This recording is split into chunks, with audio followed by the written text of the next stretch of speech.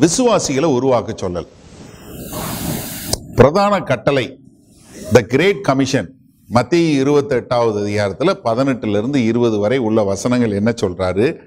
வானத்திலும் பூமியிலும் சகல அதிகாரம் எனக்கு கொடுக்கப்பட்டிருக்கிறது. ஆகையால் நீங்கள் புறப்பட்டு போய் என்ன செய்யுங்க? சகல ஜாதிகளையும் சீசராக்கி. என்ன பண்ண சொன்னாரு நம்மளை? He asked to make make அப்போ என்ன டிசைப்பிள் என்றது என்னன்னா ஒருத்தர் கற்றுக்கொள்ளுகிறவர். அதான் டிசைப்பிள் சரியா? கற்றுக்கொள்ள வேண்டியது. அப்போ முதல்ல நீங்கள் வரும்போது கர்த்தருடைய வார்த்தையை கேட்குறீங்க. நீங்கள் விசுவாசியாக இருக்கிறீங்க. விசுவாசிக்கிறீங்க. கர்த்தர் பேரை விசுவாசிக்கிறீங்க. அதுக்கப்புறம் என்ன? நீங்கள் வேத வசனத்தை வாசித்து வாசித்து அவருடைய கற்பனைகள் என்ன? அதை நான் எப்படி கை கொண்டு நான் ஒரு தேறினவனாய் வர வேண்டும். என்று கர்த்தரிடம் கற்றுக்கொண்டு நீங்கள் வந்து முதல்ல வந்து என்னவாகணும் ஒரு சீஷனாக மாற வேண்டும். சீசனாக மாறுறதுன்னா என்ன? தேவனுடைய முதல்ல தேவனுடைய கற்பனைகளை அறிந்து கொள்ளணும். ரெண்டாவது அந்த கற்பனைகளை கை கொள்ளணும். அப்பதான் சீசன். எங்கேயுமே என்ன சொல்லலை ஆண்டவர் நீ மனப்பாடம் பண்ணிட்டு நிறுத்திடுன்னு சொல்லலை. ஹலோ? வேத வசனத்தை நீ மனப்பாடம் பண்ணு அப்படின்னு மட்டும் சொல்லலை. மெமரைஸ் த ஸ்கிரிப்சர்ஸ் மாத்திரம் சொல்லலை. அந்த வார்த்தைக்கு தெரிஞ்ச வார்த்தைக்கு என்ன பண்ணணும்? கீழ்ப்படியணும். யூ மஸ்ட் ஒபே டிசைபிள்ஷிப்புங்கிறது என்ன? ஒபீடியன்ஸ் டு த ஸ்கிரிப்சர்ஸ் நான் இப்போ உங்களுக்கு புரிகிற மாதிரி சொன்னேன் ஏற்கனவே சொல்லி கொடுத்துருக்கேன் இருந்தாலும் மறுபடியும் சொல்கிறேன் அப்போ உங்களுக்கு புரியும். இப்போது வீட்டில் பசங்க இருக்காங்க. நான் சொல்கிறேன் தம்பி இந்த குப்பையை எடுத்து கொண்டு போய் குப்பை தட்டியில் போட்டுட்டான் take this trash and put it the bin okay daddy அப்படின்னு சொல்கிறான் அடுத்து கொஞ்ச நேரம் கழித்து வர்றேன். குப்பை அங்கேயே இருக்குது என்னடா அப்படிங்கிறேன். Daddy wait I am memorizing என்னப்பா? குப்பையை எடுத்து கொண்டு போய் குப்பை தொட்டியில் போடவும். குப்பையை எடுத்துக்கொண்டு குப்பை தொட்டியில் போடவும். குப்பை எடுத்துக்கொண்டு குப்பை தொட்டியில் போடவும். நான் அதை மெமரைஸ் பண்ணிட்டு இருக்கேன் டேடி. சரி ஓகே. கொஞ்ச நேரம் கழிச்சு வர்றேன். ஒரு ஆறு மணி நேரம் கழிச்சு. மறுபடியும் குப்பை இருக்கு. இப்போ லேசா வாடையும் அடிக்குது. ஆனால் இப்போ என் பையன் மட்டும் இல்லை கூட நாலஞ்சு பேர் இருக்காங்க. என்னடா? நாங்கள் குரூப் ஸ்டடி பண்ணுறோம் குப்பை என்றால் என்ன குப்பையை எடுத்து குப்பை தொட்டியில் போடுவது எப்படி இதை கொடுத்து நாங்கள் குரூப் ஸ்டடி பண்ணிட்டு இருக்கோம் எப்படி குப்பையை எடுத்து எப்படி கொண்டு போய் குப்பை தொட்டியில் போடுவது அடுத்த நாள் வர்றேன் இன்னும் குப்பை இருக்கு அவன் காலையில வர்றான் அல்ல இல்லையா டடி டடி குப்பைக்கு எனக்கு கிரீக் தெரியும் குப்பை தட்டிக்கு எனக்கு எபிரேய பாச தெரியும். ஆனால் குப்பை அப்படியே தான் இருக்கு. இப்போ ரொம்ப வீசுது. Isn't it the same in our church? Bible வாசிக்கிறோம். கீழ்ப்படுகிறோமா Do you obey?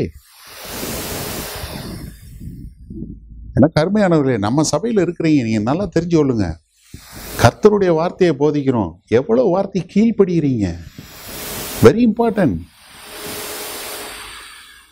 it's not just learning வார வாரம் வந்து வார்த்தையை கற்றுக்கிறீ எத்தனை வார்த்தைக்கு நீ கீழ்ப்படிஞ்சு நீ வந்து அந்த வார்த்தைக்கு கீழ்ப்படிஞ்சு சீசன் ஆகுற? போய் என்ன நீ வந்து உன்னுடைய பர்சனல் வாழ்க்கையில எந்த அளவுக்கு தேவனுடைய வார்த்தைக்கு நீ கீழ்ப்படுகிற கீழ்ப்படிஞ்சதுக்கு அப்புறம் அடுத்த ஸ்டேட் என்ன? மற்றவங்களை சீஷராக்கணும். முதல்ல சர்ச்சுக்கு வர்றீங்க விசுவாசி ஆயிடுறீங்க. அல்ல இல்லையா கர்த்தருக்கு ஸ்தோத்திரம். நல்லா வார்த்தை போசிக்கிறாங்க. நல்லா இருக்குது ஃபெல்லோஷிப் சூப்பராக இருக்குது. நல்லா இருக்குது. மாதம் ஒரு தடவை சாப்பாடு வேறு கிடைக்கி. ஒரு பிரச்சனையும் கிடையாது. நல்லா கிடைக்கு. அதனால் நம்ம வந்தோமா? ஏதோ பார்த்தோமா? உட்காந்தோமா நல்லா போனோமா? ஒரு பிரச்சனையும் இல்லை.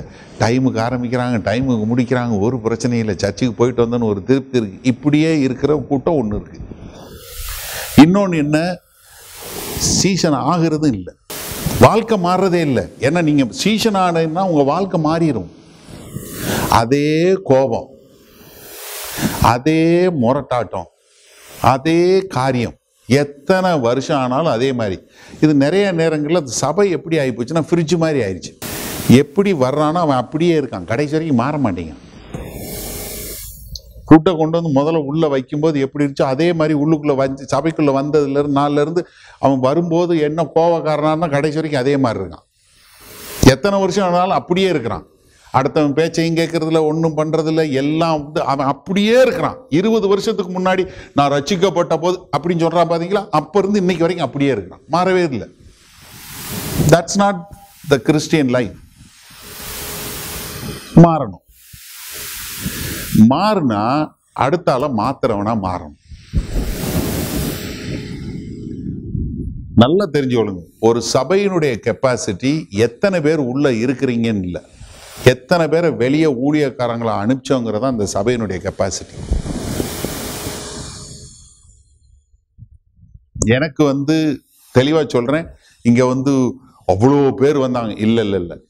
ஏசு கிறிஸ்து பதினோரு பேரை விட்டு போனாரு. உலகத்தை கலக்கிட்டாங்க.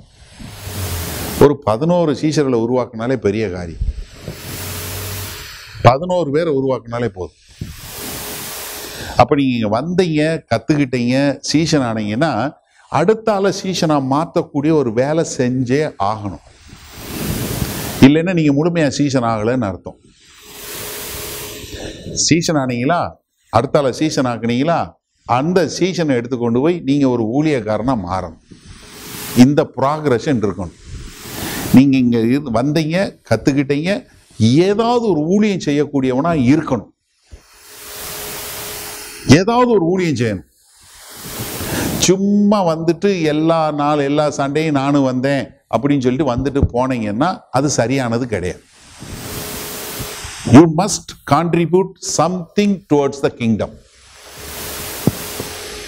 அது கார் பார்க் பார்க்குற வேலையாக இருந்தாலும் சரி இல்லை டீ போடுற வேலையாக இருந்தாலும் சரி இல்லை சேர் போடுற வேலையாக இருந்தாலும் சரி இல்லை கேமரா வேலையாக இருந்தாலும் சரி மியூசிக்கை ஏதோ ஒரு வகையில் நீங்கள் வந்து ஏதாவது ஒரு ஊழியம் செஞ்சே தீரணும். மற்றவங்களுக்கு தேவனுடைய வார்த்தையை சொல்லக்கூடிய மக்களாக மாறியே ஆகணும். சும்மா வந்துட்டு சும்மா போகிறதுன்னா I am sorry to say this is not the church you will find it very difficult ஏன்னா இங்கே வந்து ஆண்டவருடைய ராஜ்யத்தை கட்டுறதுக்கு நம்ம அழைக்கப்பட்டிருக்கோம். என்ன பிற ஏன் சொல்கிறேன் கேளுங்க. நீங்கள் வந்து எந்த வேலையும் செய்யாமல் இருந்தீங்கன்னா உங்களால் இந்த சபைக்கு பிரச்சனை. ஹலோ? ஏன்னா நீங்களும் செய்ய மாட்டீங்க அடுத்தவனையும் செய்ய விட மாட்டீங்க. சபை என்பது சரீரம். சரியா? ஒரு சரீரம். புதிய ஏற்பாட்டில் சபைன்னு சொல்லும்போது சரீரம். இந்த சரீரத்தில் எல்லாரும் ஒரு அங்கம். உங்களுக்கும் ஒரு ஒரு பாட்டு இருக்கு. எல்லாருக்கும் ஒரு ஒரு பாட்டு இருக்கு. You may be a leg or you may be a hand or you may be a nose or you may be eye you may be ஏதோ ஒரு உங்களுடைய அங்கம் ஒரு அங்கம். அந்த அங்கத்துக்கு என்ன பொறுப்பு இருக்கோ என்ன வேலை செய்யணுமோ அதை செஞ்சு தான் தீரணும். இதில் என்ன பிரச்சனைன்னு கேளுங்க. உங்கள் பாடியில் which is the most important part சொல்லுங்க. Which is the most important part heart ஆ. அப்புறம்? பிரெயின் அப்புறம்? Who said everything yeah everything எல்லாமே முக்கியம். இதில் இன்னொரு விஷயம் என்ன தெரியுமா? ஹார்ட் முக்கியம் சொன்னீங்கல்ல என் ஹார்ட்டை பார்க்க முடியுதான்னு there are many ministries cannot be seen by outside நிறையா ஊழியம் இங்கே நடக்கிற நிறையா ஊழியம் வெளியே தெரியாது. மீதி பேர் ரெக்கக்னிஷனே வராது. கார் பார்க் பார்க்குறது டீ போடுறது இது சமைக்கிறது இதெல்லாம் யாருக்கா தெரியுமா என்ன? தெரியாது. நிறைய ஊழியம் இங்கே செய்கிற ஊழியத்தில் நிறைய ஊழியம் பின்னாடி நடக்கிற ஊழியம் உங்களுக்கு தெரியாது. அதுக்காக அது குறைஞ்சது இல்லை ரொம்ப இம்பார்ட்டன்ட் அதுவும் இம்பார்ட்டன்ட் ஏன்னா ஹார்ட் ஓடலைன்னா என்ன புண்ணியம்? இவ்வளோ பெரிய பாடி இருந்து உள்ளுக்குள்ளே ஹார்ட் இல்லாமல் இருந்துச்சுன்னா என்ன புண்ணியம்? எல்லாமே முக்கியம். சிலது வெளியே தெரியும் சிலது தெரியாது. அப்போ இங்கே வந்து ஊழியம் பார்க்கும்போது உங்களை வந்து பேரை சொல்லி உங்களுக்கு வாழ்த்து சொல்லலை இல்லை உங்களுக்கு இது பண்ணலைன்னா அதுக்காக நீங்கள் முக்கியம் இல்லைன்னு அர்த்தம் இல்லை. எல்லாரும் மைக்க பிடிக்கிறதுல இருக்க வேண்டிய அவசியம் இல்லை. ஆண்டவர் எல்லாருக்கும் ஒரு வாய் கொடுத்துருக்கிறார் ரெண்டு காது கொடுத்துருக்கிறார். ஏன்? கம்மியாக பேசு அதிகமாக கேளு. இதில் பிரச்சனை என்ன தெரியுமா? பேசுகிறவனுக்கும் தான் அதிகமான நியாயத்தீர்ப்பு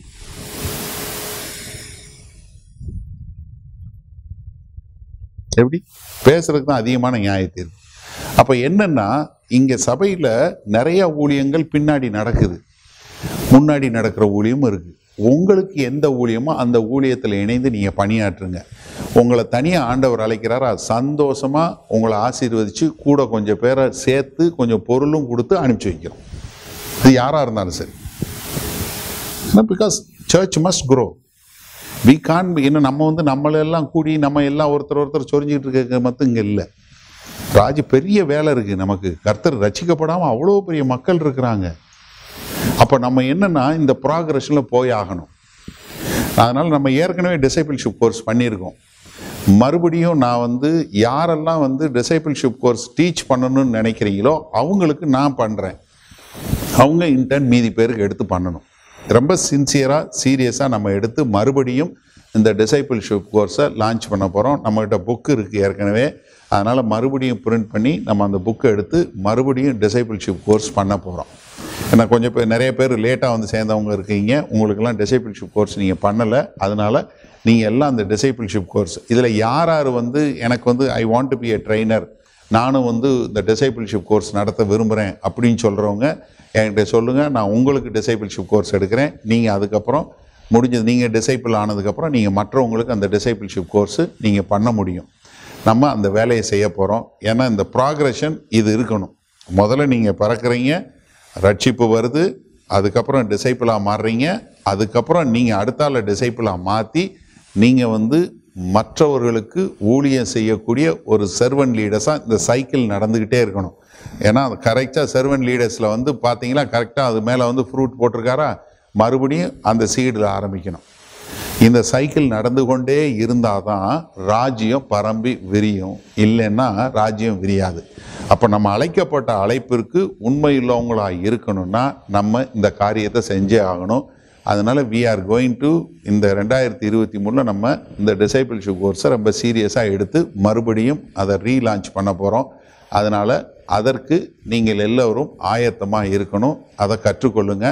முன்னாடி பழைய நம்ம வீடியோஸ் இருக்குது அது பார்க்கணுனாலும் நீங்கள் பார்க்கலாம். ஒரு பிரச்சனையும் கிடையாது.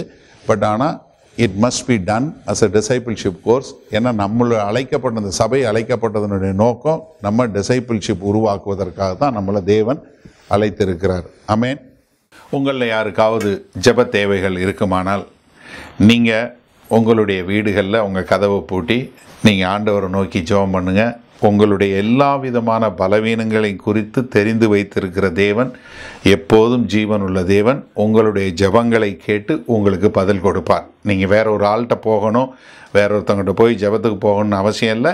நீங்கள் ஜெபம் பண்ண ஆண்டவராகி இயேசு கிறிஸ்துவை ஏற்றுக்கொண்ட எல்லாரும் பிதாவாகிய தேவன்ட்ட ஜெபம் பண்ணால் அந்த ஜெபத்தை கேட்டு பதில் கொடுக்கக்கூடிய அன்புள்ள பரமபிதா தான் நமக்கு இருக்கிறாரு. அதனால் தைரியமாக நீங்கள் ஜெபம் பண்ணுங்கள் அதே சமயத்தில் இன்னொரு காரியமும் நாங்கள் சொல்கிறோம் எங்களுக்காய் ஜெபம் பண்ணுங்க. ஏன்னா வேத வசனத்தில் அதான் சொல்லியிருக்கு. நீங்கள் எந்த ஊழியக்காரரையும் ஜெபம் பண்ண போங்கன்னு சொல்லலை. ஆனால் ஊழியக்காரருக்காக ஜெபம் பண்ண சொல்லியிருக்கு. நாங்கள் தைரியமாக தேவனுடைய வார்த்தை இன்னும் அதிகமாய் பிரசங்கிக்க எங்களுக்காய் நீங்கள் ஜெபிக்கும்படி கேண்டிக் கொள்கிறேன் ஆமேன்.